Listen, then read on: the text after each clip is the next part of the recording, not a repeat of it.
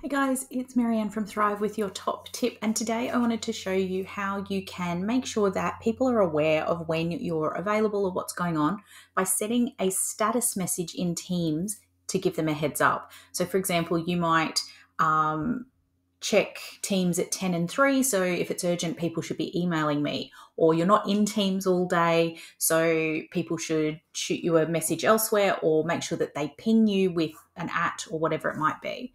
So to do that, we go up to the top here. You click on your profile icon. Um, and this you need to do this per account. So if you've got lots of different accounts you jump in and out of, you'll need to set your status message in each account. Um, and you'll see the option here to set your status message. So things like um, I check Teams at 10 and 3, urgent, email me, or whatever it might be. You can put it here, you can tick here to show that um, the status message will pop up on someone's window if they're starting to type you a chat which is always really good. And then you can set how long for. So some some preset options, some and you can customize it to a specific date and time. You can also schedule an out of office from here as well, which will be a, a regular message, but we're not going to do that. So um, once I've got this set, uh, so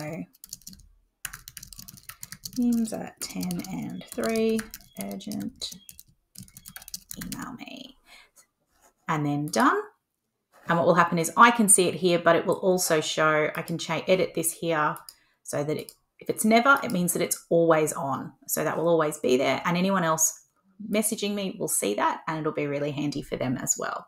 Your status message isn't just for vibes, it's a boundary setting tool and it can help you avoid a lot of unnecessary contact outside of your preferred times. Give it a go, see how it helps.